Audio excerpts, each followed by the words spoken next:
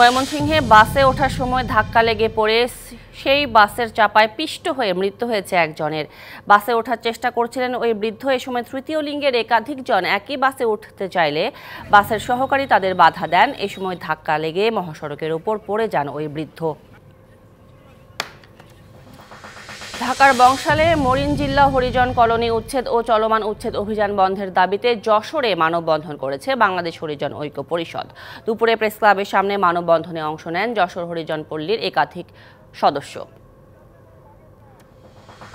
চুয়াডাঙ্গায় ইটভাটা শ্রমিক শান্তর মরদেহ নিয়ে বিক্ষোভ ও মানববন্ধন করেছে স্বজন ও গ্রামবাসী। দুপুরে শহরের শহীদ হাসান চত্বর এলাকায় বিক্ষোভ করেন তারা। এ সময় শান্তর অস্বাভাবিক মৃত্যুর রহস্য উদ্ঘাটন ও অপরাধীদের দৃষ্টান্তমূলক শাস্তির দাবি জানানো হয়।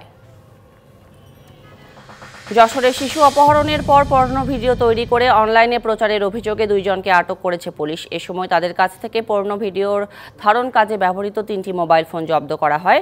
রাজীব দাস ও বিথি আক্তার দীর্ঘদিন ধরে সামাজিক যোগাযোগ মাধ্যমে এইসব অবৈধ কাজ করছিল। নগদের কাছে সব গ্রাহকই প্রিয়, তাই তো সারা দেশে ক্যাশ আউট চার্জ সবচেয়ে কম।